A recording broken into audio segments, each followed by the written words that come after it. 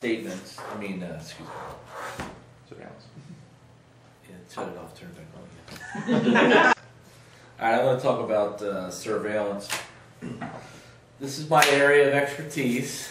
This is what I've been doing for 30 years. Um, this is what brought me into the industry, just doing surveillance work for uh, insurance claims. Some people have said my whole presentation, my whole training kind of surrounds around, you know, surveillance. I, I tried to change it a little bit uh, over the uh, months that I've been doing this, and try to talk about other aspects of um, of the uh, of being a PI. But you know, surveillance is a big part of it. We use surveillance in so many different aspects of investigations in the in the manual, um,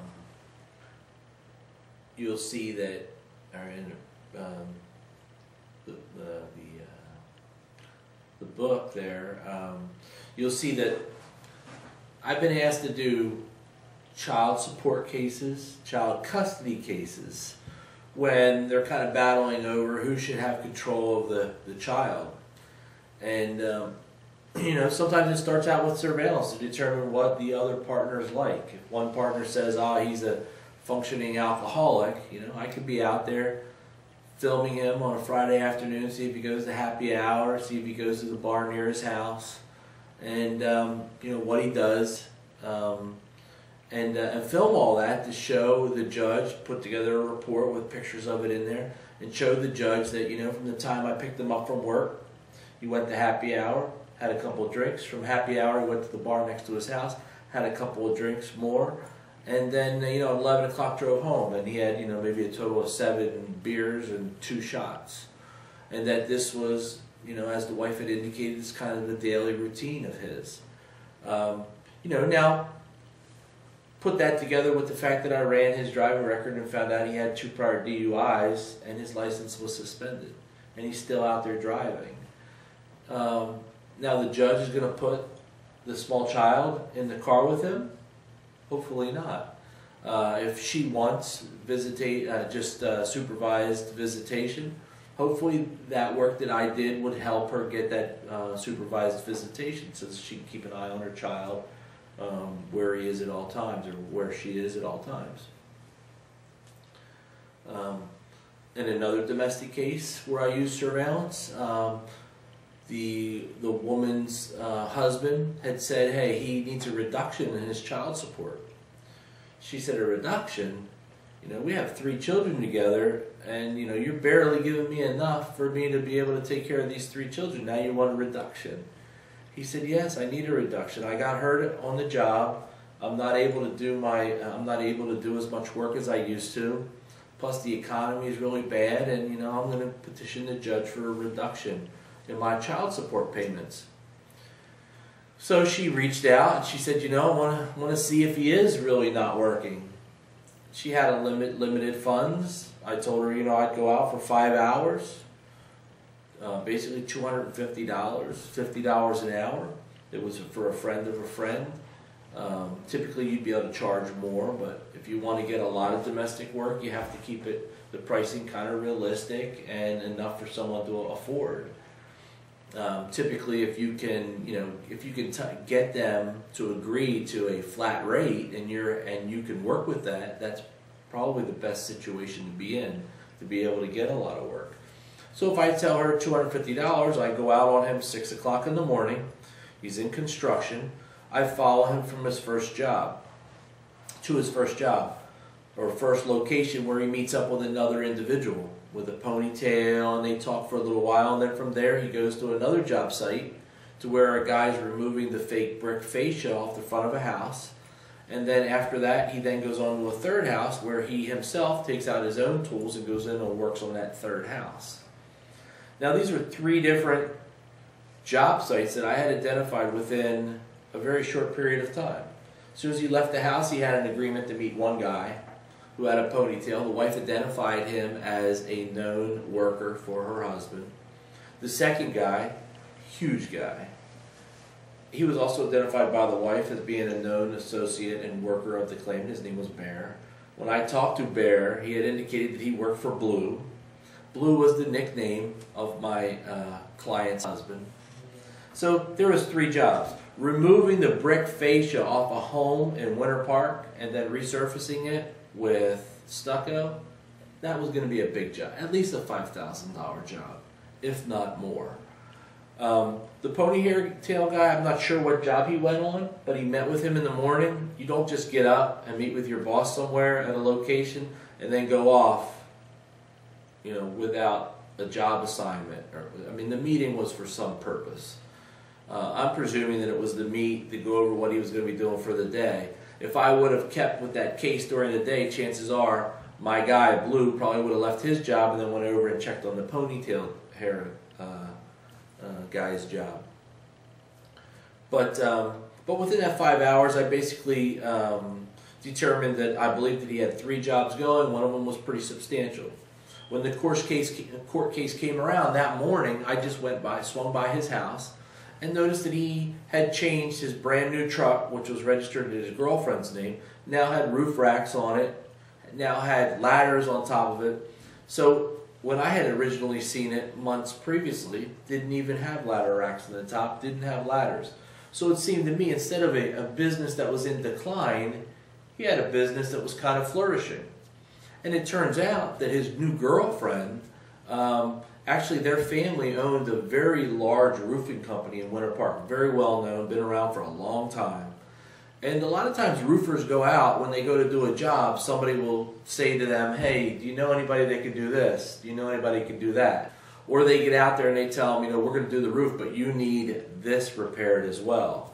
And every time someone from the roofing company needed uh, or um, gave a referral, they of course gave this girl's boyfriends the referral, Blue.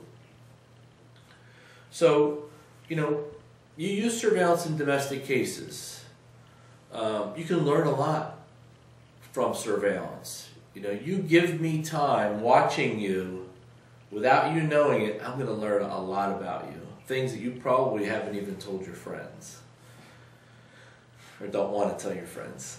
Um, you know, I've sat on people and I've followed them to um, the mall where they pulled into the parking lot, waited for another person to arrive. Both of them switch cars then they go off to a motel somewhere. Uh, I've seen people come out and start dealing drugs on the street corner.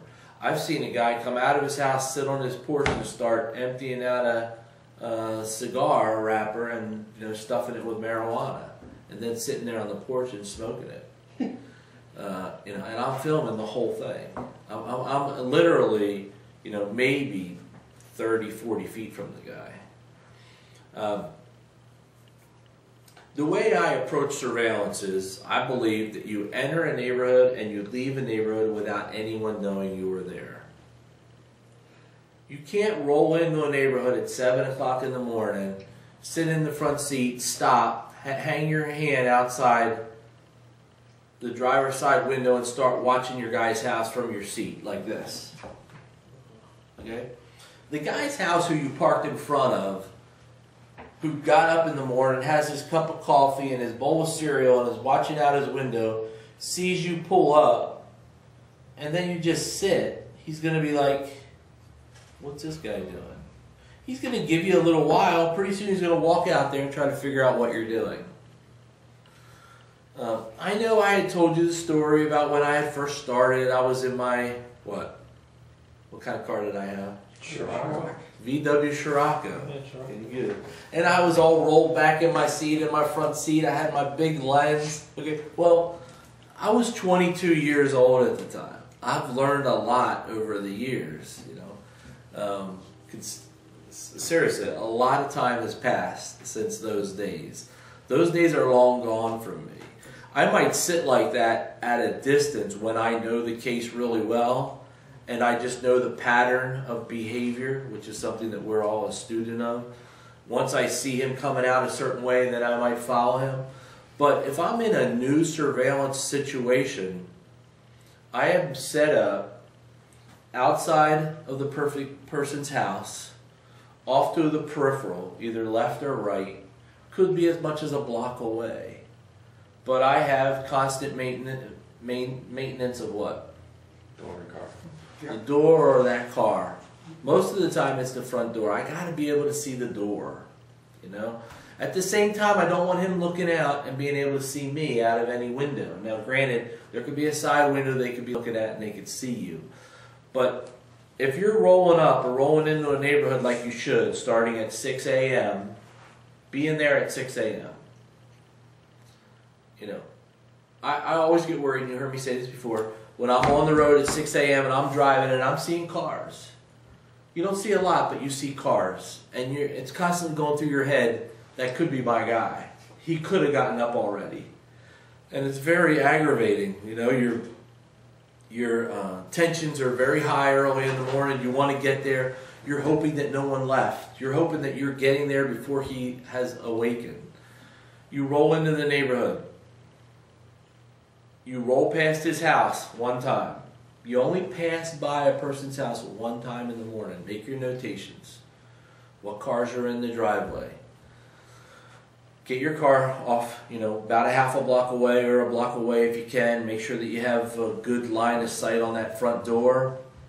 Or if worst case scenario, that car parked in the driveway, you're certainly going to see anyone coming or going to the house because you're going to see the driveway and the roadway. Once your car is parked off um, to the peripheral or off to the uh, left or right of the house, you're going to make sure that your car is faced in the opposite direction of the subject's house. Okay? People might tell you differently. You know, you might read a book that tells you to do it a certain way. You might go to work for a client that tells you, or a company that tells you he wants surveillance done this way. Well, you know, chances are you're going to have to do it the way he's asking you to do it. I'm just telling you that from my experience, things that have been most productive for me is to park with my vehicle in reverse. Okay. Now that makes following the person more difficult. If he comes out and goes in the opposite direction, you have to turn your car around. You might only have a few seconds to do that. And if you can't do it quickly, then you might not be able to park with your car in reverse. You might have to adapt. You know, I'll tell you a little story. Um, I had a case in Newark, New Jersey. Did I tell you this story already? Have I told any stories while you guys have been here? One or two. I was in Newark, New Jersey. Well, I had a case in Newark, New Jersey, and I farmed the case out to a buddy of mine.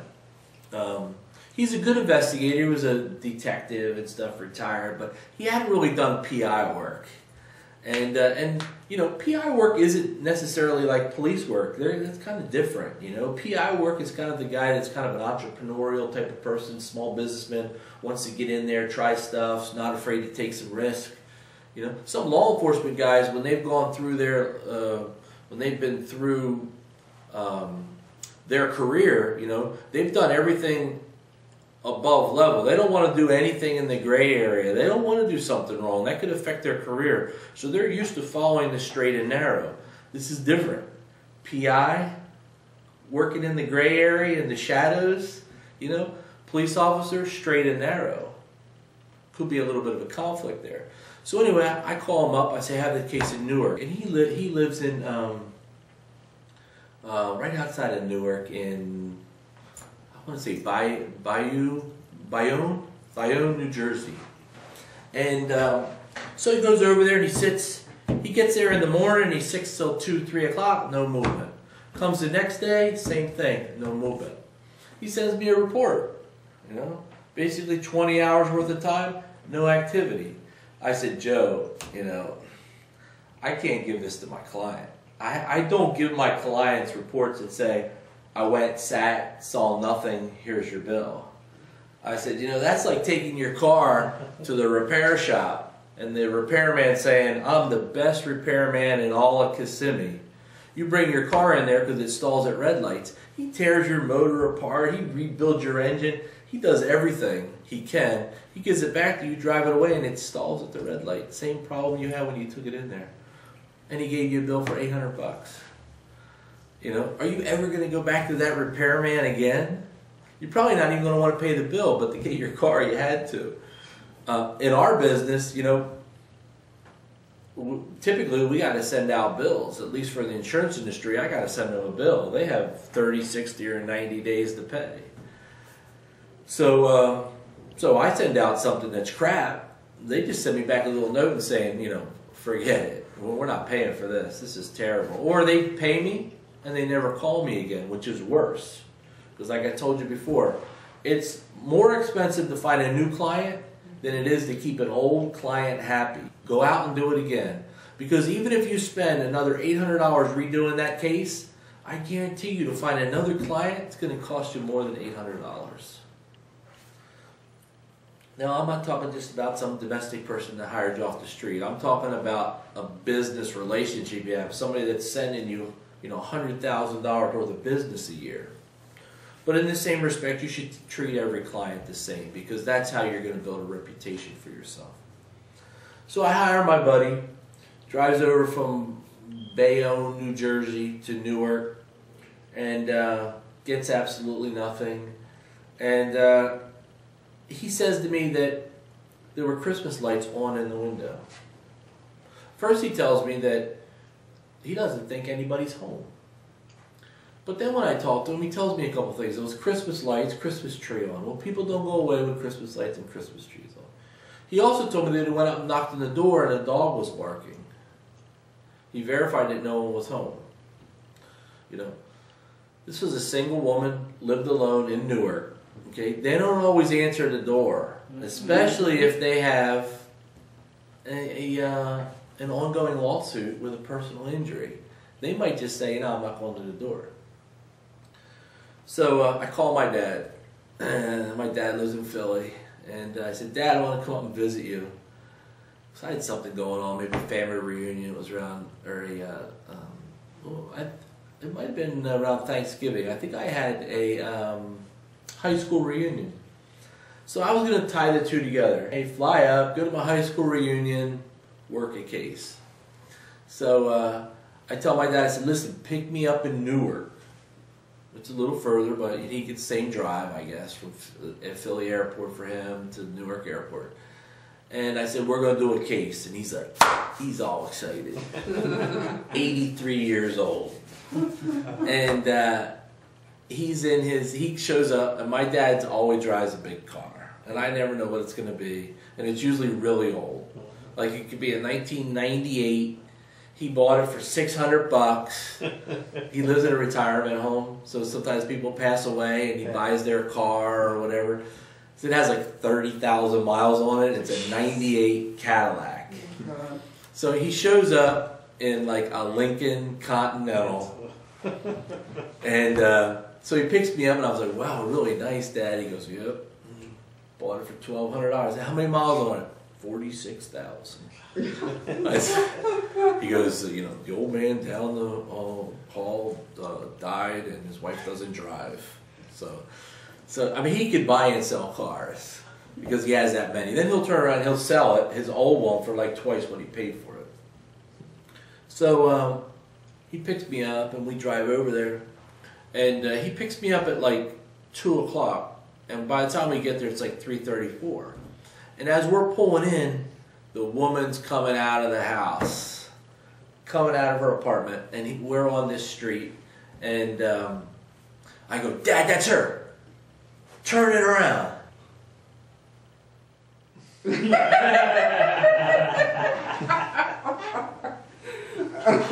Took him like 10 minutes to turn the car around. I should have just gotten out of the car and followed her on foot. By the time he turned that car around, I think she was in Florida. But she was just like out of sight. And I was looking at him like, going, come on, come on. And you don't want to yell at him, you know, because he's doing the best he can. He did like his eight point turn.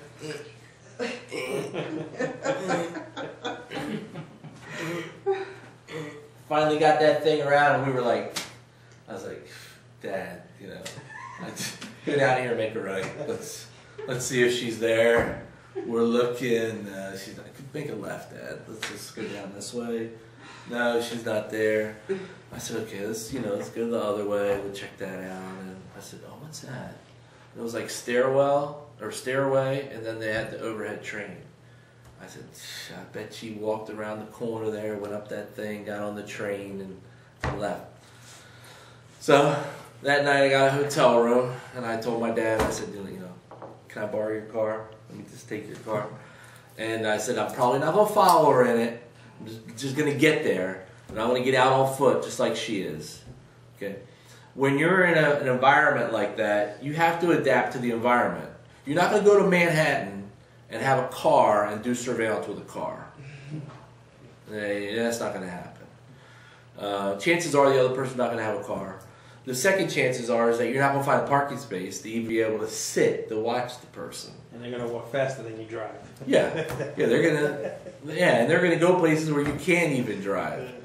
Um, now, if you're in, uh, you know, Queens or you're outside the city, it's something different. But you have to adapt. You know, uh, on the test it says being on foot is better in a, a you know in a uh, heavily trafficked area like in a city environment. So I got there. I get out of the car. Across the street from her house, like a little park. Just hung out in the park. Sure enough, about 4:30, something like that. I don't remember the exact time, so don't hold me to it. She comes out of the house. Boom! I follow her. She goes around the corner. She goes up that rail, and she gets on the train. I follow her into town. She's working nights. It's around Christmas time. She's picked up hours at a local mall, working in a uh, a little gift shop. So, you know, she didn't want anybody to know what she was doing. My buddy, who's so caught up in doing our sur- surveillance from six to three or six to two, your eight-hour shifts, instead of maybe staggering his shifts, I always tell my guys, if I give you a case, you go sit and stay and don't move until you see the subject. That's all there is to it. I don't care if the client said do two four hour days. I don't care if they said do two eight, eight hour days. Well, the way I see that is, is that you have eight hours, you have 16 hours if you add the time together. I know I have that authorization. I'll worry about the client. You just deliver me the product. Okay? And what we need to deliver is a running car, a car that doesn't stall at an intersection. We need to deliver videotape of the subject doing something. That's our job. We need to deliver proof that the guy is working when he says that he can't work to pay his child support. We need to show, um, what was the other one? Can't pay child support? Or we need to prove that the guy's unfit to have custody of his child. You know, if anybody asks you, you know, are you biased to one side or the other? People will say, "Oh no, no, no, we're investigators. We report the facts and only the facts." Well, that's what Sergeant Friday does. that's not what a PI does. If O.J. Simpson didn't pay his private investigator two hundred fifty dollars an hour to report the facts and only the facts, you think he brought back a stack of facts and said, Here you go, OJ, I found out that you're guilty. I found all these facts that kind of prove you're guilty. No, his PI went out there to find a way to build a defense for him. You know, if you don't understand that, you're in the wrong business. You're not going to make any money. You can't produce evidence that's going to conflict with what your client wants. You can't manufacture evidence either. You can't go out there and throw quarters on the ground so that the guy comes out and says, oh, quarter, quarter, and he starts picking them up and you get him bending. Or you can't go out there and flatten his tire so he comes out and goes, oh shit, I got a flat tire. And he goes out there, jacks it up, takes the tire off. I mean, if my guys have a flat tire, I, I'll film it, but I, it bothers me. Because people are going to think that I did that. You know? That's the first thing I think of. Shoot. That's one got of the questions I was going to ask you yesterday. I'm like, great, he got a flat tire. They're gonna think I flattened his tire. Yeah. So, um, so, so I don't know where all that was going, but You um, really don't throw quarters down for no, no, I don't throw quarters down. I don't do any of that stuff. Some people put like cinder blocks behind their car. The guy comes out and he's like, "What the heck is this? A prank? You know, some kids did this." Um, no, don't do that kind of stuff. You know, but I understand that my goal, you know, it's much, it's a lot harder when you do everything legit. You got to try to really get something on the person that you know is going to be valuable to your client. And uh, will you get the you know the smoking gun every single time? No, But you know what? The gun will be warm. It'll be hot. You'll know that it's been fired. I mean, that's our that's our job is to get that. Um, so, and you have to hold yourself to that standard. Don't let yourself don't let yourself say, well, you know, it's just one of those things where it's not there to get. Don't let yourself off the hook like that. You know, I don't know eh, what you guys do in your in your professional lives, but everything you know you always want to be the guy who's doing it to the best of your ability you want people to, to know that you're not you know a slacker or that you're not just a waste of space you know you have to be the same way in this industry so Go above and beyond. yeah go above and beyond and really understand that there's people out there that um, that will if you don't and they're going to be the ones that are that are the busiest you know, I didn't, I wasn't able to stay in this business for 30 years because I operated a fly-by-night operation. I was able to stay uh, in the industry because, you know, I always take everything very serious um, about each and every case I get. Now, let's go back. Let's forget the Newark case. Let's go back to a regular surveillance. I get there early in the morning. I'm parked in the back. I'm parked with the back of my car facing my subject's house. I'm literally in the back seat of my car or my truck. If you've seen my truck, I have a, a Explorer. I used to have an Expedition, which I loved, but it cost me about two hundred dollars every other day I was filling up. So I went to an Explorer, which I hate. Sorry because you can't even put a sheet of plywood into the back room. You'd think they'd make them just a little bit bigger, so you get a sheet of plywood in there, but they don't. So I have the seats out of the back of my car, and I have like a, uh, a lawn chair, a plastic lawn chair with a nice cushion because you spend a lot of time on your butt. It's got to be a thick cushion, a good cushion. My cushion is a marine cushion. It's used to being wet, and uh, so it's really good and solid. And I have it kind of like taped to the chair. And I have the chair cut down, I have the legs cut off of the chair so it sits down because you can't get a full size chair in the back of your truck. If you notice, you have basically about this much space, so you have to sit down lower. So I'm sitting there, I'm in my car, and um, I'm facing out the back. Now, as soon as I get there, I'm going to start setting up my equipment. It's 6 o'clock in the morning, but I'm getting ready. I'm going to set up my camera on a tripod. My tripod is going to be aimed at my subject's house. I'm going to be sitting there. I'm going to be waiting for the first movement. As soon as I see something, I'm going to hit record. I'm going to start recording that person from the time they come out of their house. When I'm first sitting there, I'm going to see the bedroom light go on in that house. I'm going to see the hall light go on in that house. I'm going to see the kitchen light. Smell the coffee. I'm going to smell the coffee. I'm going to know everything that's going on in that house. That's the way I want it. I'm not rolling up at 9 o'clock going, hmm, no cars in the driveway. You know, do they not have any cars? Uh, well, there's a garage. Are they in the garage? You know, who wants to go through that? You know, I don't have like a, a um, Crystal ball. yeah, a crystal ball to be able to tell what transpired prior to me getting there. I'm going to get there early. I'm going to get there so that I don't have to go through all that guessing game.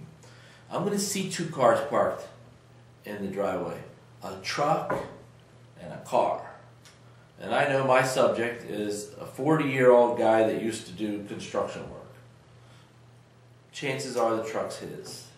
Okay. I get there in the morning, I see the wife leave, 7.30 in the morning, she comes out, she goes down the road.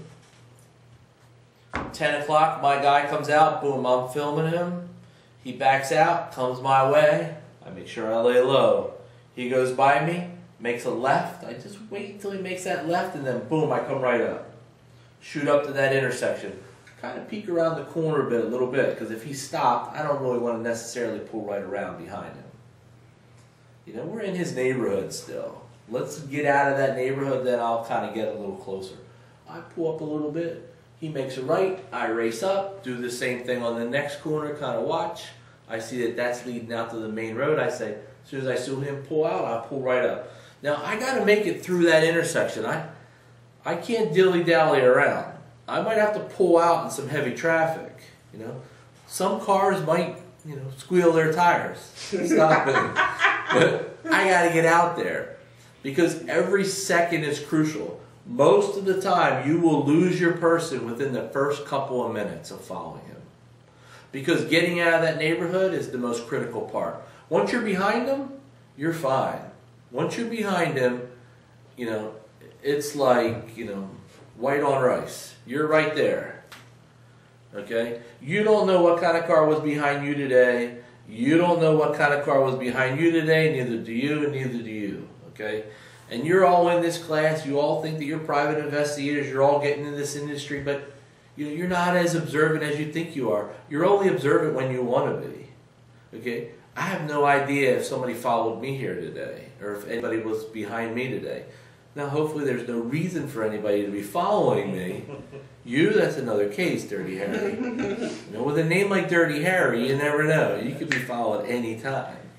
Plus, with your former history, you know, being from New York and all. I mean, all that, a lot of that stuff that's going on in New York. You know what I mean, right? What? I don't know. Just I don't know. see if I can get it out of you. Remember those things that you did and you weren't supposed to be doing? The fifth. So, um, once I'm out on that main road, I'm behind him. I'm not letting the car between us. Now, granted, in a perfect situation, you'll be in the right hand lane while he's in the center lane. What happens when you're in the right hand lane, kind of right on his back tail there? Can he see you?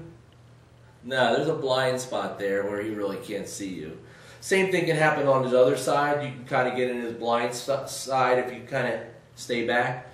But if you're in the far left hand lane and there's three lanes and he's in the center lane and he moves to the right and makes a right hand turn, you might be stuck not being able to get across. So you stay behind him or you stay in the right hand lane. If he moves to the left, you have no other choice other than move to the middle lane or get behind him because he can make a left hand turn. While you're driving, you're not relaxed. Trust me, you're not relaxed. You should be pumped up. You should be looking ahead. What's coming up? Where am I going? What direction am I headed? Is 75 coming up? Is I 4 coming up? Is 192 coming up? Um, is 92 coming up? Like, where am I going? Which, which direction am I headed?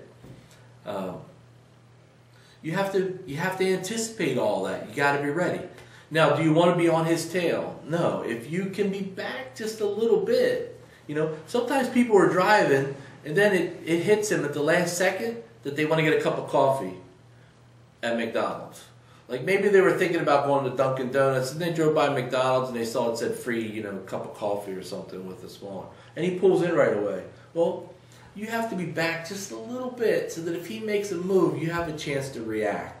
If you're too close to him, he might go in. You might have to. You might find yourself needing to pass him. Bad move. Never pass your subject.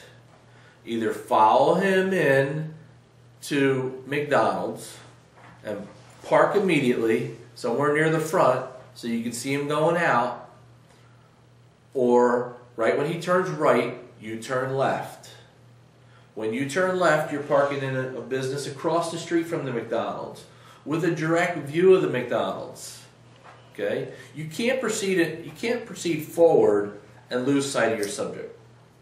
You'll lose him. You will lose him. It's very, you know, it sounds silly, you know, that you can lose somebody, but in reality, it happens all the time. You make you make these small mistakes that I'm telling you not to make, but you're going to make them, and you're going to lose people, and you're going to say, you know, he told me not to do that. Like always keeping, never taking your eyes off of his car when you're following him. You know, I lost a motorhome pulling a boat. Okay, I was following behind him. I was in La La Land. You know, I've been, I have done over fifty thousand surveillances and I'm following behind him and I don't know, I'm on vacation somewhere or thinking about my vacation or thinking about something else. And I'm driving and next thing I know I'm thinking to myself, who am I following? Where's where's that motorhome? Like I just, you just, you ever drive somewhere and you don't remember driving or getting there mm-hmm. because your mind is somewhere else? Okay, well, that happened to me, and and you can't let it happen. You have to when you're following somebody, you have to be watching that car the whole time. I got a call about a month ago. A buddy of mine who's working in this area, who's not from around here, he's following a car from Poinciana. It's a, um, the car is a white, I think it's an American car. Um, and he's following the car, and they head out the back way. They go to 27. And at 27, the guy pulls into a gas station and he goes forward and then comes back and he sees the guy going north on 27, so he starts to follow him. Went past him, took his eyes off of him. He says to me, he goes, John, I need some help. I'm not sure if this guy is skittish, if he's on to me, but it's a real big case. Where are you? What are you doing? And I said, I said, well, 27, I, I live over at, out in Celebration. I can get to 27 just going south on uh, I-4. I could probably be there in 15 minutes. He goes, can you come over? He says, I think the guy's going north up to Ocala Springs. They're in like bathing suits and he has a fishing pole. Like they're going somewhere for the day. He says, big case. So I shoot over there and um, they're at this new, he says, right now they're at a dollar store in this new mall that's near 27 and I-4. So, uh, so I shoot over there and I pull in, and he goes, and they're in the white, you know, Pontiac Le Mans.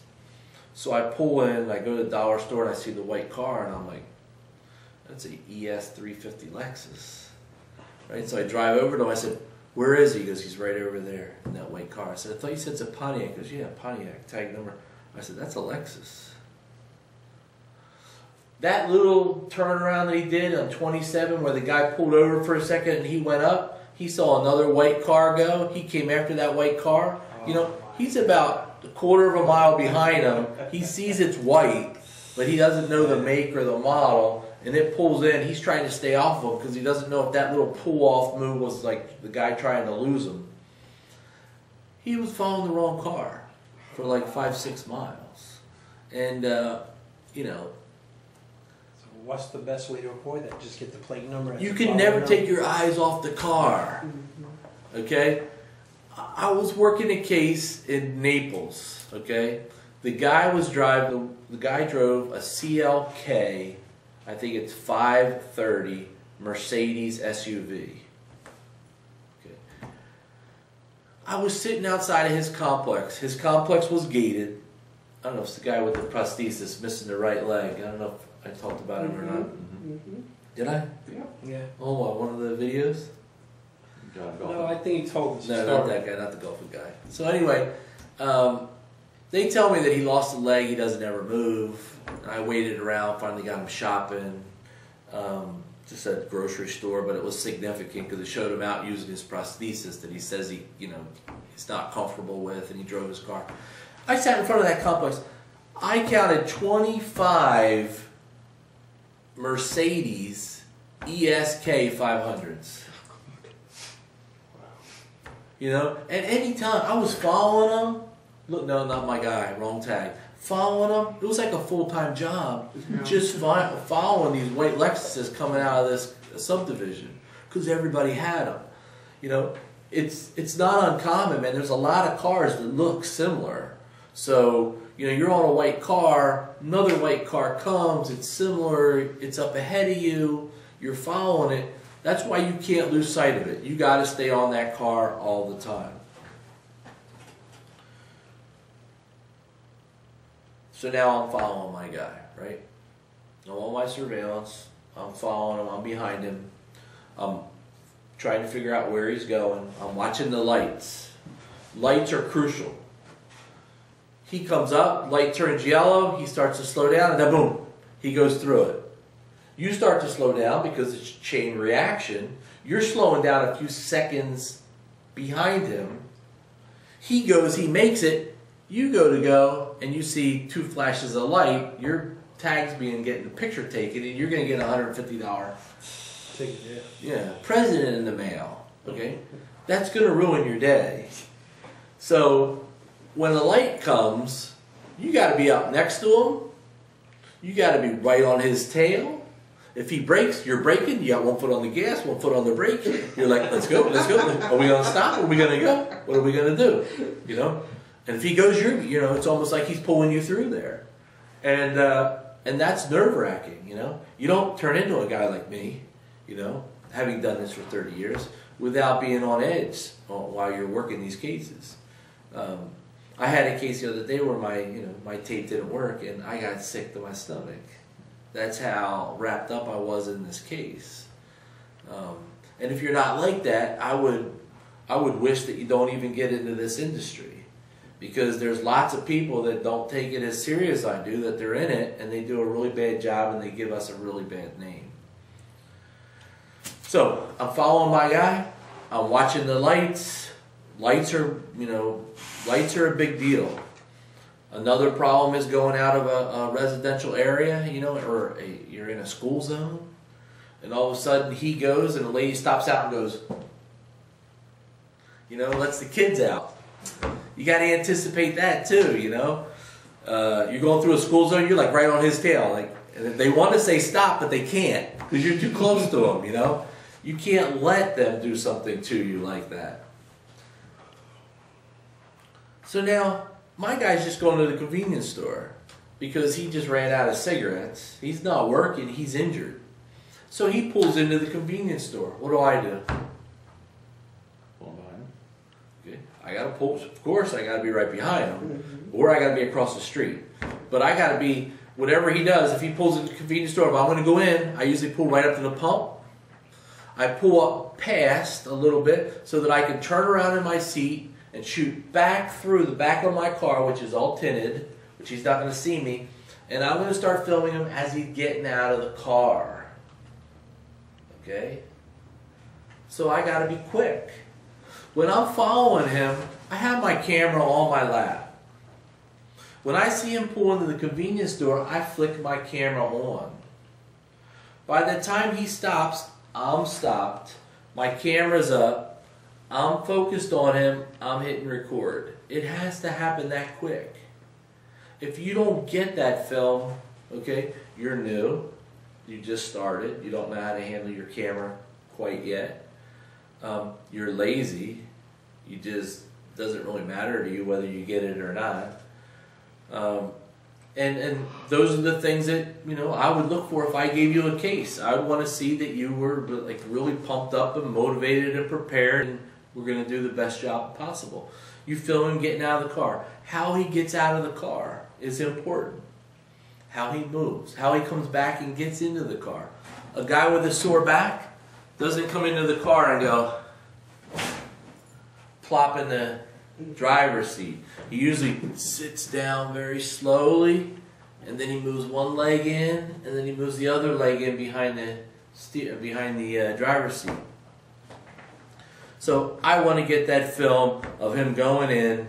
I then want to film him at the register, walking out, coming out the door, getting back in his car, closing the door, and then as he goes back to the house, I'm going to lay off of him a little bit.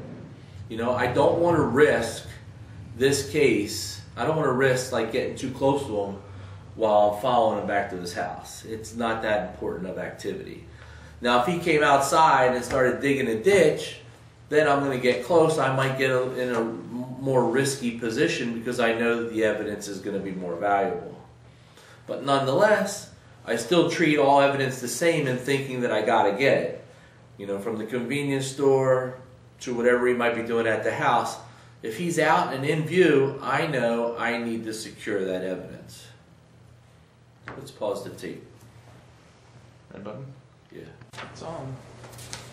This is a continuation of the uh, surveillance um, lecture. So, you know, we talked about setting up in our surveillance, being in our car, how our car was located. Now, I didn't, I didn't really take you back what goes into the surveillance preparation prior to that. I mean, at some point, you have to understand what environment that you're going into initially. Um, back in the day, before there was Google Map uh, and uh, you know 360 ground view and all that other stuff that you have, it was more difficult to try to figure out. You would look at a map and you'd want to try to figure out where the guy lived and what roads went to what main roads, like how he would travel out of the area. Today, I always Google Map my house, the house. So I immediately know what it looks like. Sometimes I can even see cars parked in the driveway. Do you do Google Street View? Yeah, Street View. Thank you. If it's available, I'll do the Street View. If it's not, I'll hover over the top of it. What, what the best image I can get. I'll know, you know, it's three houses down. I'll know that maybe I can't see the house from the street. It sits back off. Um, when I'm in a situation like that, I can say, you know, this might be a stationary surveillance position, meaning although I travel all the time with my camo gear in the back of my car, I might really prepare for a stationary woodline position. In other words, I might double check that I have my clippers for making for cutting branches. Uh, make sure I have my bug spray. Make sure I have my net. You know, sometimes, especially around this time of year, uh, my camo stuff gets ransacked by the kids that want to use my stuff for Halloween. You know, they'll wear my hat and my camo stuff and everything. So I got to make sure it's all there. Or if my my wife washed something, I got to make sure it's back in my pack. But um, so a decision has to be made. Is it going to be stationary or mobile? Mobile is in your car, parked down the street, ready to follow them. Traditional neighborhood type of surveillance. Not the type of surveillance you're going to be doing at Ocala National Forest, or even some places down where you live. You live in uh, Polk County, Lakeland, Bartow area. You can have some rural locations, um, rural home sites where typically you'll get two days of surveillance on a subject. If you really want to find out what the subject's up to, what his activities are, I have, at this point in my career, I demand three days worth of time on all my cases. So I, I pretty much tell my clients if they say they want one or two days, I say, well, you know, I have a three day minimum. And I try to push that and stick to it. Now, if I'm hungry for business, that's not something you say to your clients. But I had the opportunity when my client asked me, "What are your, you know, requirements? What what is this? I'm going to prepare it and pass it around the office." I kind of set that up in advance, and I know with three days I can usually get what it is I need to get. In a case where it might be a very rural neighborhood, I might spend my first day solely in a woodline position in a, or in a hedge or in some place where I'm just sitting for the whole day. I have no, um, there's no anticipation that I'm gonna like follow the person. I'm not gonna jump out of the hedge and start running down the street to my car, or I'm not gonna jump out of the woodline. That's gonna spoil the whole case. That day is for purely reconnaissance, just sitting on the house, observing everything that's happening. Um, in Boca Raton, uh, Boca Yacht and uh, Tennis Club. Couldn't get in, couldn't get in. Decided to go over the wall early in the morning. This is just facetious what I'm saying on this tape, so if uh, anybody you know feels that I'm being serious, I'm not. So I'm just giving this is just an example, hypothetical example. Um, so I go over the wall. It's like five o'clock in the morning, and I'm walking down the street, and I'm in full camo gear. Okay, I got my backpack on, which has my little three-legged chair in it, stool for sitting on. I have a um, tripod, camera mounted on top. It's in my bag. Everything's in my bag. I'm walking down the street. It's dark. My subject's house is right there, about from a little closer than that house right over there, that greenhouse. That house would probably move that over about, I don't know, 10, 15 yards. I'm walking down the street and I just fall into a hedge. Nice hedge, very nicely trimmed, and uh, and of course, um, hypothetically speaking, um, things that you shouldn't do. You know, I begin to cut a little space inside that hedge with my clippers, so that I can make it a little more comfortable for myself. And I set up my tripod, and I'm on my house. Now, um, my objective on this day was I had no idea what cars my subject drove because both cars might have been leased or maybe in a company's name. Whatever they were, they weren't coming up in my database. I had no way to find out what kind of car she drove. And if I don't know what kind of car she drives, I can't pick her up outside her neighborhood when she leaves. I won't know who's who. So I had to get inside and I had to wait there until that garage door opened. And at about 11, 12 o'clock, that garage door opened and boom, there's two cars. Me, my camera's running, I'm filming it the whole time. Making sure I get each car, what type they are, the plate, and I can remember them and I can look at that tape later and pick out every little characteristic about that car because or those two cars. Because the next day I'm going to be outside in my car and when she leaves in one of those vehicles I'm going to be prepared to follow her. But I got to make sure that I remember them I study them carefully now on this day she leaves but I stay because I've already committed to staying there all day she comes back she opens the garage door remotely, pulls in, gets out, opens up the trunk, starts pulling groceries out of the back. You know, carries them inside, comes back out, carries them. I'm right there. I'm filming this. I'm filming everything that I need, and it's the best quality because I'm in a stationary position. I got my camera on a tripod. It's like you're watching, you know, uh, a movie. It's perfect, and and of course that's that's what we uh, what we want. So making a decision on whether it's going to be mobile or um, stationary is something that has to be done up front because there's preparation involved in a stationary position. Now I will also um, Google my my subject's name and I will Facebook them to see if I can find out some additional information. Um, by through Google and uh, Facebook, uh, I might be able to get a picture of someone.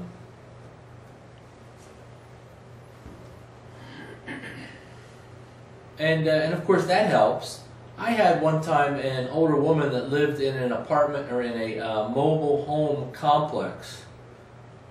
Listen to this gated mobile home complex. You don't find a lot of those. Mm-mm. But- some in Davenport.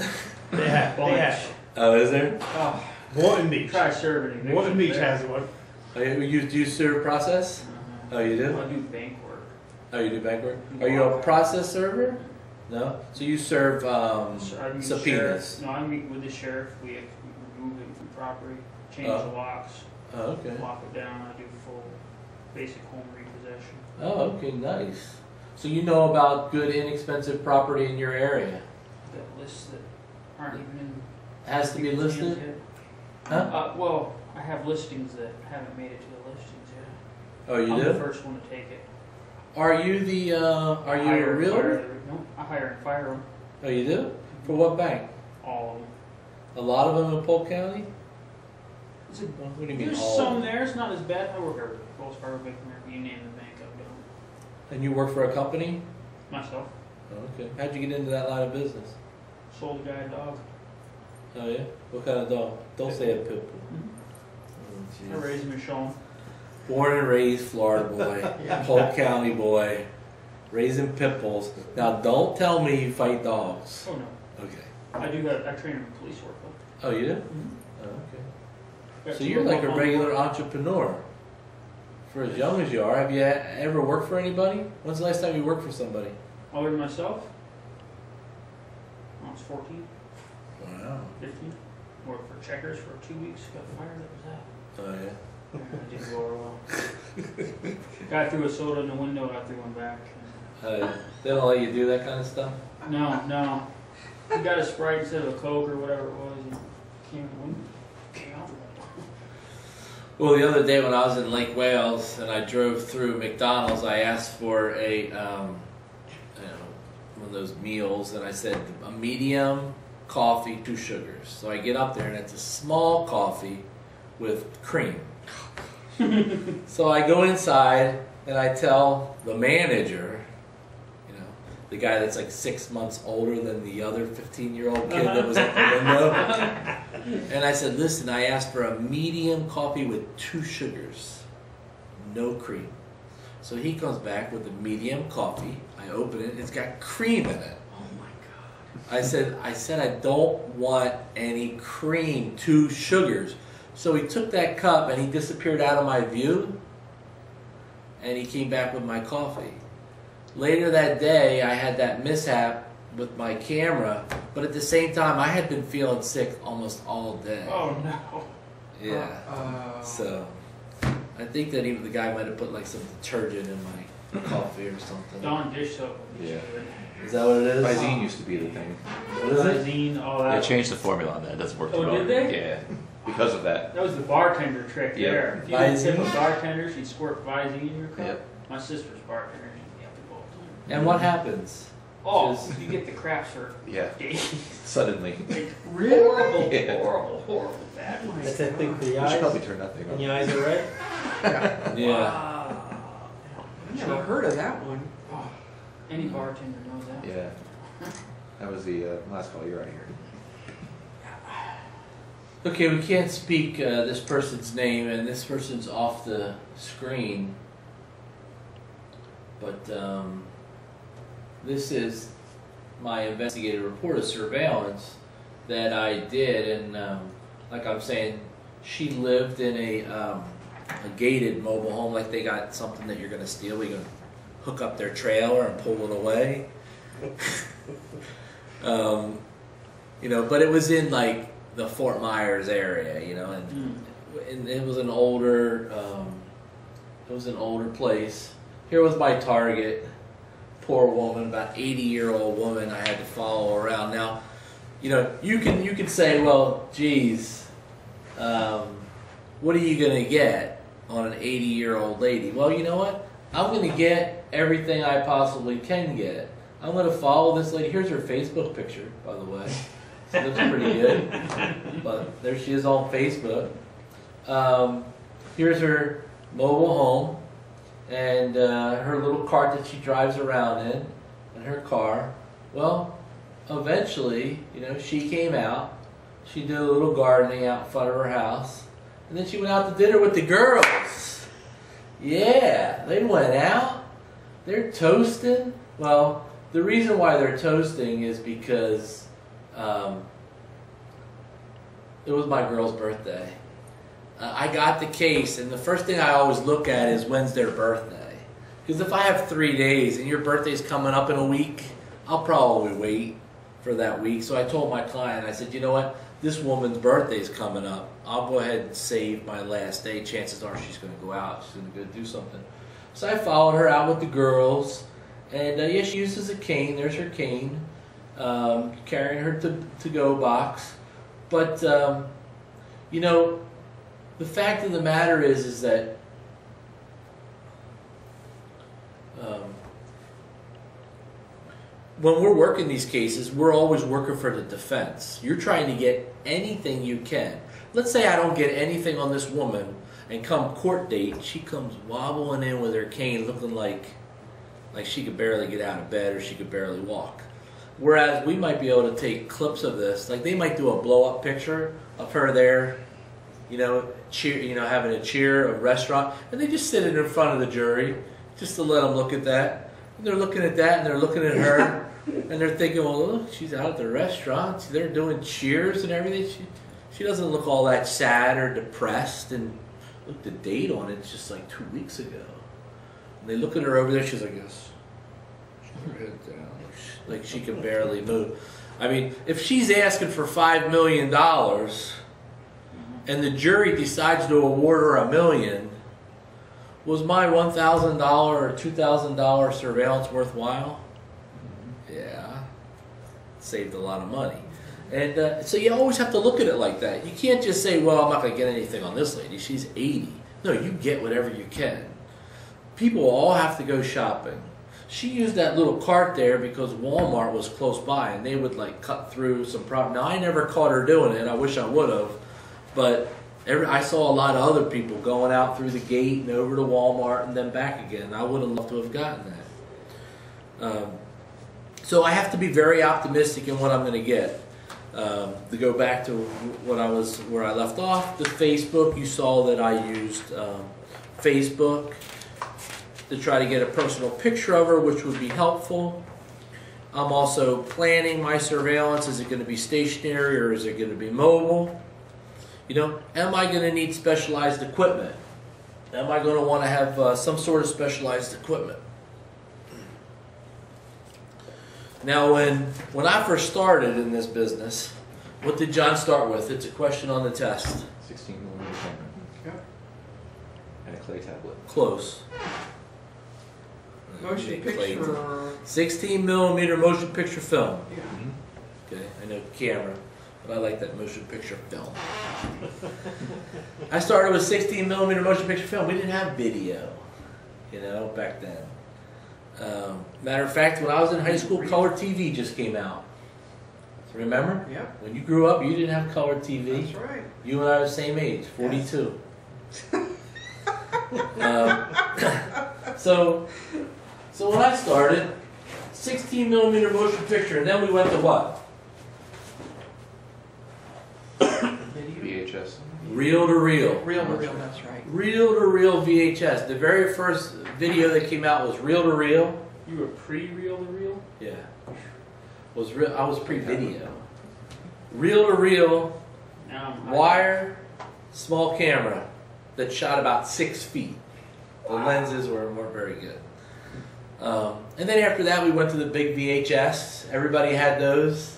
Handle on the top. Do you remember those? Or are you too young see them on TV.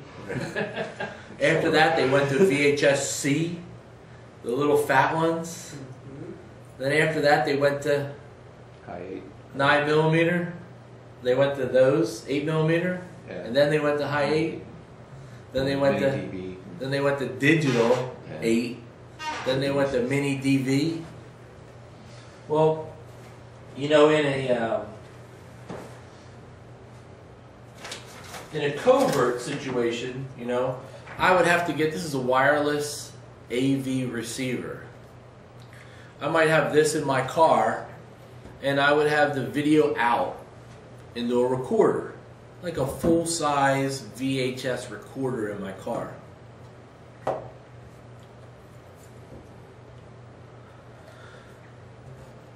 Now I'm going to be inside. I'm to have a transmitter on me. Think about all this junk we used to have.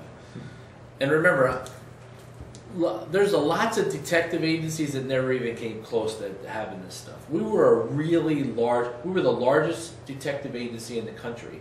And now I think we're probably either one or two.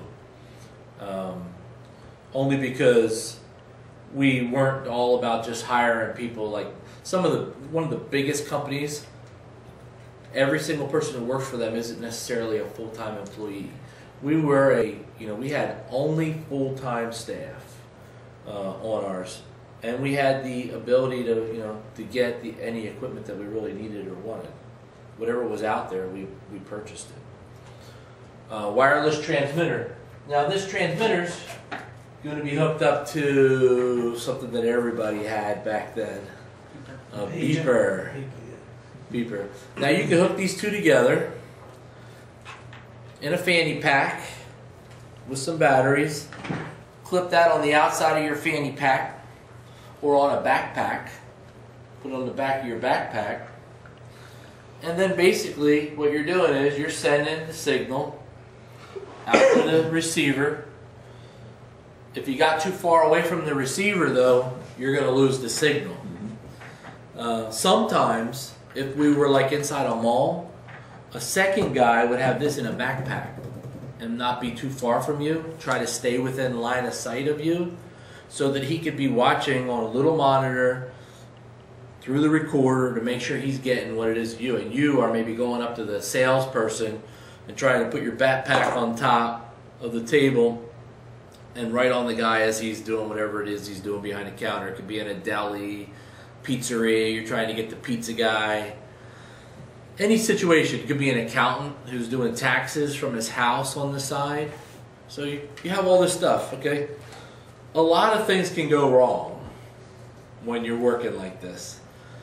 Uh, I we even had a stationary camera that's in a it's in a green tube that they use for telephone outside your house, telephone and cable. We'd stick it in the ground. It had a camera in the side of it. We'd put it on your house. It had a little motorcycle battery, and I'd sit down the street and I'd watch on my camera, watch the house. If it was a real rural area, I could set the camera up across the street. Now, every time the wind blew, my signal blew. You know, my picture would go like this if the wind blew. So, a lot of things to go wrong. Okay, you got wires, you got batteries. Everything's powered by a battery. Um, this is actually audio, video, and power.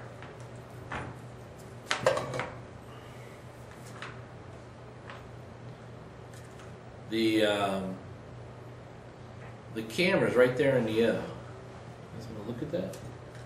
Pass it around. It's right there in the O. Now that's a Sony chip camera. That's a Sony chip in there. That camera was um, $129 Where does it come out? in the O of Motorola. Oh. That was hundred and twenty dollars how long ago? Here's another one. About 15 years ago. So what they use now? They still use this? No. Smartphone. Uh-huh. Yeah. High definition video on it. Okay. Then we got high tech. Twenty hours Okay. high def. I got HDMI out. Hard drive with a built-in monitor. That small. Pack of cigarettes. You're using that now? Little button. No, this is we're still going back. Button camera. Take it off. Put it in your shirt. Put the button back on. Make sure your shirt has black buttons. If you need different size buttons, we have different sizes. Oh my Okay, we can put the different size buttons on there. If you want to put it in a piece of furniture and maybe move it into a room, we have a screw. You can put the screw on it. You can drill a hole in a piece of wood and put the screw on there. And no one's going to know it's going to be a screw.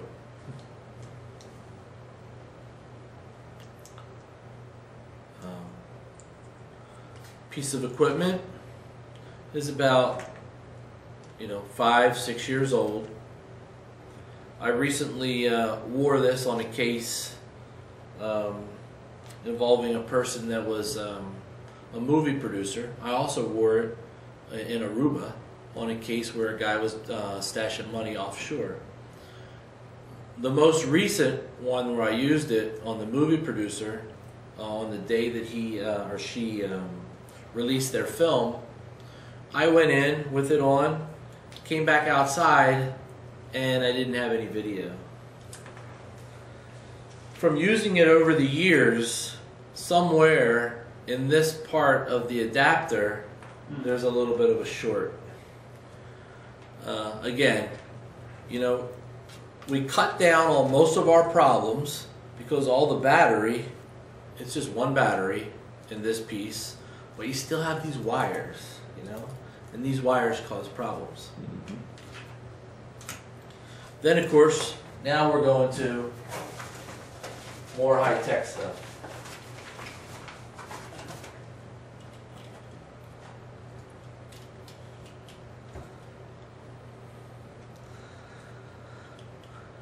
Hard drive.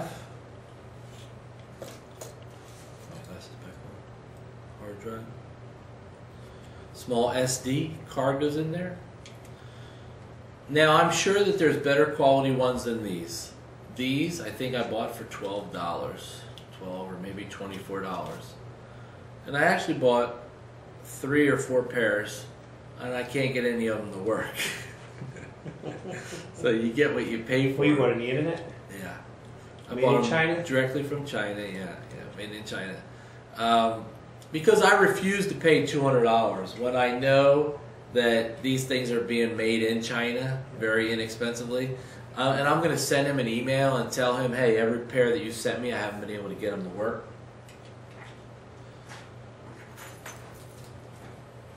That I have. Camera. Okay. It's a camera. This is my baby. Show Harry picking his nose. You missed out on that last time. Huh? You missed out on that one last time. Yeah. probably. Yeah. 'Cause I have, I have the same thing. Yeah.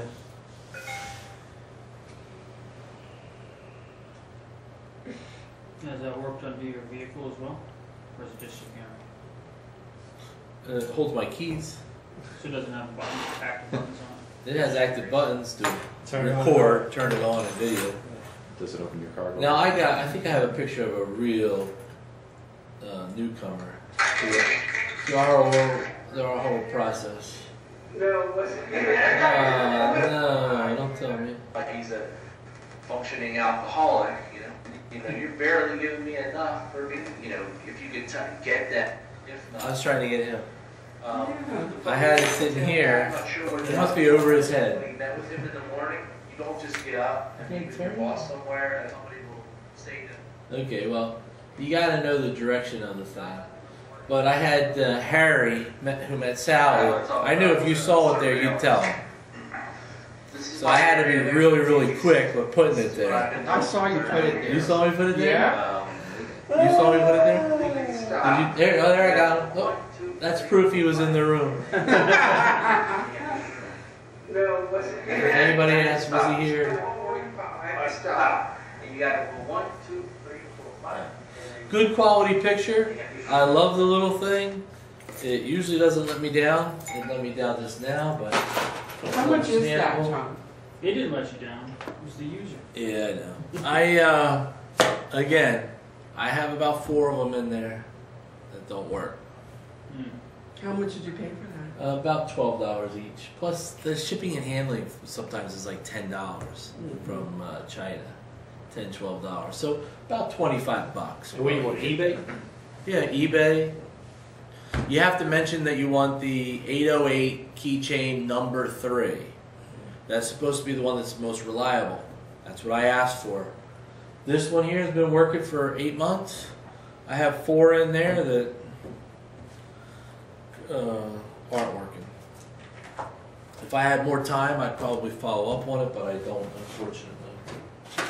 Now, Have you ever tried a higher price one to see if there was any difference? No, not yet. I will, probably. Uh, and of course, uh, I also have uh, the clip on one, which is another good one. These are higher price. These are like thirty-five dollars.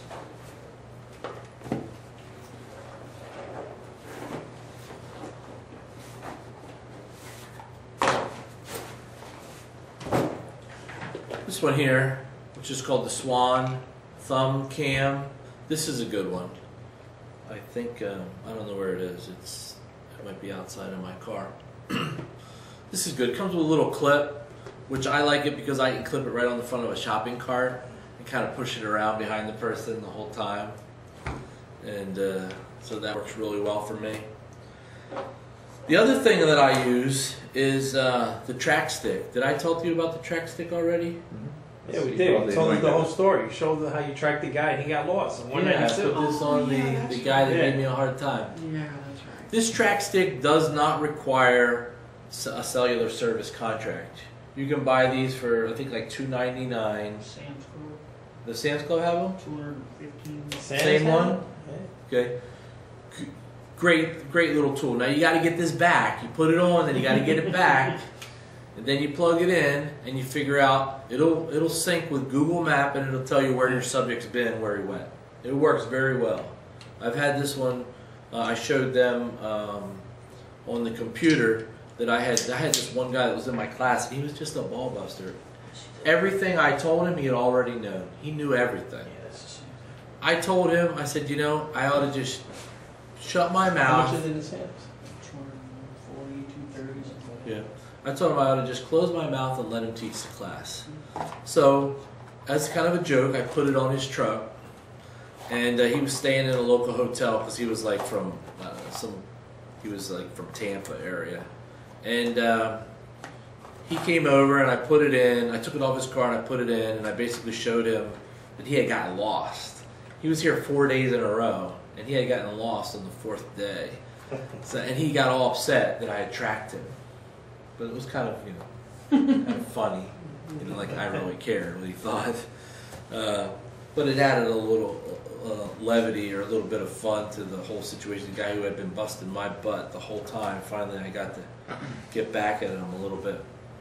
John, do you just stick that into your side of your computer and Yes. it does it? Uh-huh. You don't have to have any special type of program or anything? This has the program in it, Okay. and when you plug it in, it downloads the program onto your computer, and it even has a little update. Every time there's an update for this, it'll update. Oh. So this is very good. USBs change the world, hasn't Hmm? it? USBs change the world. Yeah, sure have. No. Now, surveillance vehicles. You know, my choice of surveillance vehicle is an SUV, one that sits up a little bit. Now, I spent 20 years doing surveillance in a car. You know, when I first started, I had a car, a VW Scirocco. Uh, very low car, and it was fine for me. But as I got older and started making more money, I liked being in the big SUVs. You know, it gave me a lot more space. Uh, I loved my Expedition. God, when that, you know, that Explorer, when that Explorer on uh, steroids came out, that was that was a cool car. A lot of room in there. Um, but I had to cut back, and now I'm in an Explorer. I even knew guys that had small S10 pickup trucks. Anything to get you up off the ground a little bit, it helps your vision.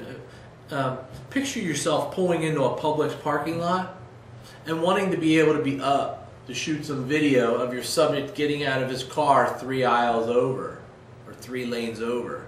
So it's nice to be up a little bit.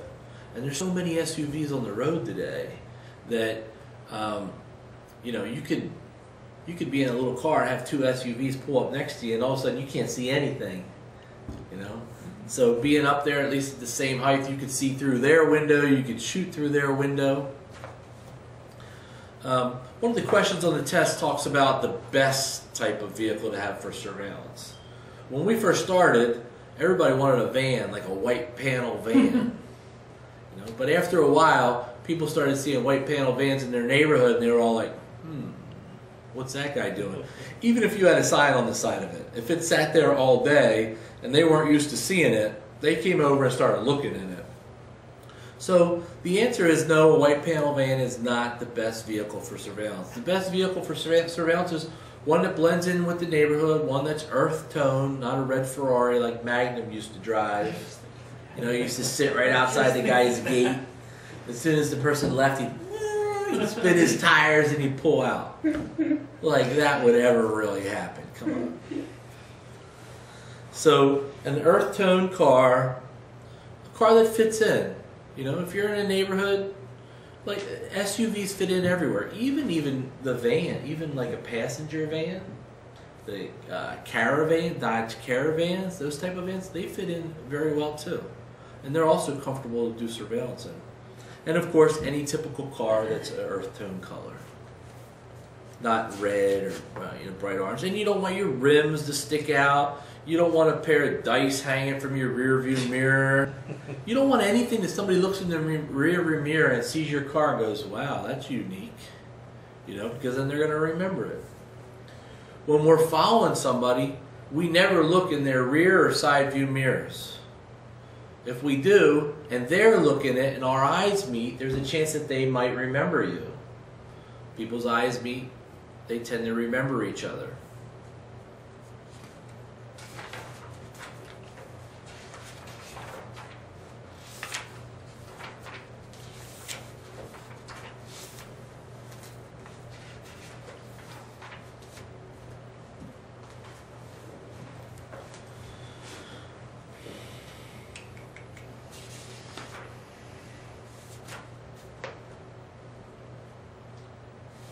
So, let me just uh, review real quickly.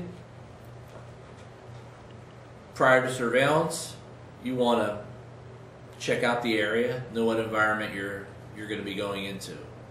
You want to be able to Google your person, Facebook them, get an idea.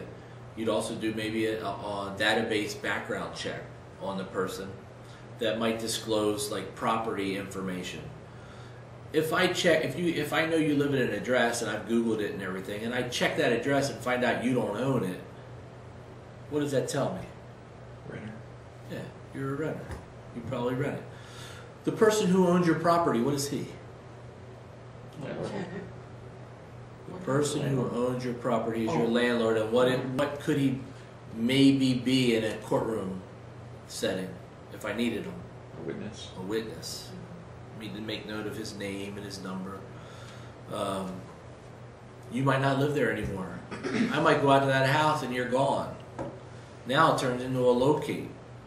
Well, before I start going off on a tangent, thinking, okay, I got to initiate a locate investigation. Minute. Maybe I'll call the landlord. You know, hey, you know where Dirty Harry moved? Oh yeah, Dirty Harry's wife got transferred. She's working Pine Hills now, and uh, Dirty Harry's living off Pine Hills Road. Matter of fact, I talked to him the other day. He's in the third house on the left from the corner of. okay, okay, thank you, landlord. Um, so, from there, I do my uh, background database. I have to decide mobile, stationary. What type of position am I going to take? Once I decide what type of position I'm going to do, do I need any specialized equipment? Or you'd be like me, you just carry it all with you all the time. Once you get out there, one of the most crucial things that you will do in any case is the position you select. Okay, whether it's mobile or stationary, whichever it is, where you that position is going to be crucial. If you're in a rural area and you decide not to go stationary but to be mobile and you're parked off to the side of the road and there isn't any other cars parked there, that's going to be a problem. He's going to leave or a neighbor's going to leave. They're going to see your car parked there where nobody ever parks and they're going to immediately become suspicious. And in a rural area, people look out for each other. If they see something strange, you know, the police don't get to a rural area in a half in a heartbeat. So the neighbors, and plus they live in those types of environments because they're resourceful and they know how to take care of themselves to begin with. They're out there looking for stuff. And if they don't like something, they're going to go figure out what's going on. They're not going to wait for help to come, like in mm-hmm. a, in a you know, in a suburban neighborhood. Housewife looks outside, she sees a strange car, she calls not, you know, she calls the police to come check it out. Not in a rural neighborhood. They'll come over there, they'll find out what you're doing, and if they don't like what you're doing, they're going to want you to leave. So, but the same applies in a suburban neighborhood. If I'm in a suburban neighborhood and I'm in a nice neighborhood, I'm in your parents' neighborhood in Clermont, and there's no on street parking, everybody's parked in the driveway, I can't sit on the street. I'm going to be the only car sitting on the street. But I gotta I got that house or door thing in my head, right? That I don't think I've said it on uh, during a, on a tape, but the main principle of surveillance is, is that you always have the person's front door or his car in your view at all times. If you're following him, you have his car in view. If you're sitting surveillance, you have his front door in view. You got to see his front door. You got to know who's coming in and out of the house. Well, if I'm in a nice neighborhood and there's no on-street parking, what do I do? I have to sit back, kind of study the neighborhood. I got to figure out: is there an empty house on this block? Is there a house where both of the people I already saw them leave for work? I saw the kids walk to the school bus in the morning. I saw the woman leave and the husband leave. You know, I might go take that spot in the driveway. I'm not going to stay on the street. Um, typically, I find you know that spot immediately. I come into a neighborhood, I find the spot that I'm going to sit in.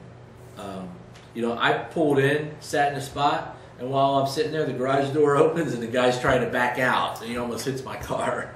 I'm like, oh, sorry. Uh, but, you know, those are the chances I'm going to take. I'll deal with that guy. That's not my target. I'm not really worried about him. I'll, I'll deal with it. You know, oh, yeah, sorry, you know. So what are you doing here? Oh, I was waiting for somebody. Uh, I thought this house was empty. What do you mean you thought it was empty? Well, you know, your grass is kind of high. you know, looks kind of like, you know.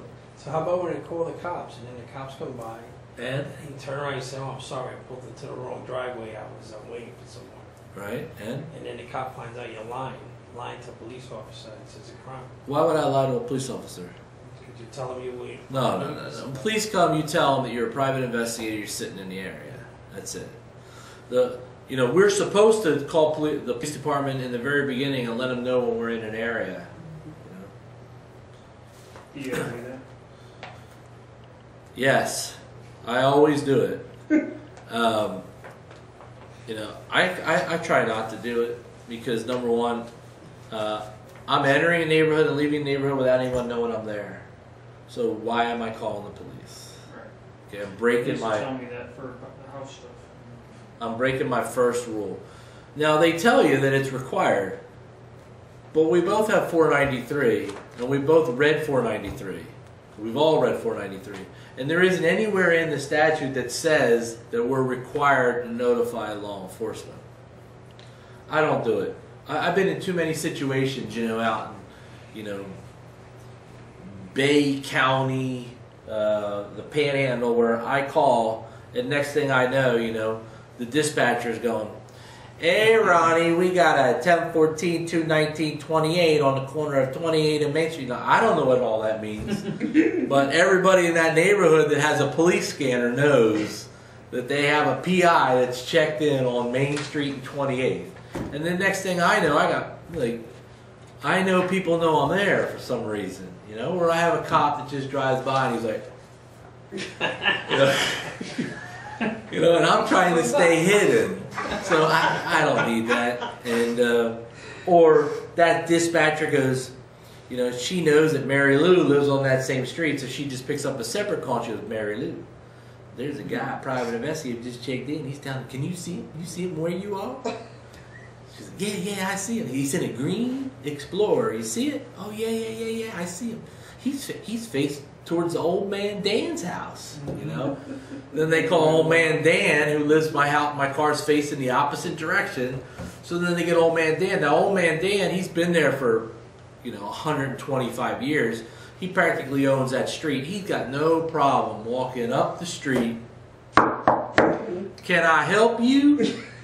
You know. So it's, you know, it's it's it's like Barney Fife land when you when you get all that. So I just I'm just like no, I'm just gonna stay to myself. If if I arouse that much suspicion and attention, then I did something wrong. You ever run anyone with guns? I have. That's why I. Yeah. No, I don't carry a gun. Don't carry a badge. No, I mean nosy neighbors in rural areas. Yeah. Well, if somebody comes with a gun to my car, I'm gonna call 911 and I'll have them charged. A lot. Yeah. Mhm. They usually come through the front door because I'm already inside. Oh, you're inside their house. No, not theirs, neighbors. Oh, Abandoned for two years. I'm inside locking it down. Here comes the neighbor with a shotgun. oh, wanting to know what you're doing there. Oh yeah. Yeah. Pissed. Yeah. It's like, I'm gonna call the cops, get off the property. Yeah. I've never had anyone uh, pull a trigger yet. I've had them pressed up against a few times. Have you filed charges? Yeah, That's no point. Neighbor, worried about someone stealing all the copper out of the house. You have a conversation with them, you know they're not gonna do it again. Right. Once they realize what they just did and how stupid it was. Mm-hmm. All right. Um, any questions about surveillance? Come on, guys. Give me something. Anything. You know what it is? We're anxious to take test. Has this ever happened? Has that ever happened? Anything? What? Okay. That will conclude our uh, segment on surveillance. Thank you.